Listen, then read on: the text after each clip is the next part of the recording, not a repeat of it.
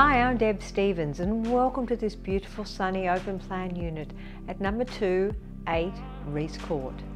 All the things you look for in a unit, warm, light and spacious, with fantastic water views are right here in front of you. Take a look around.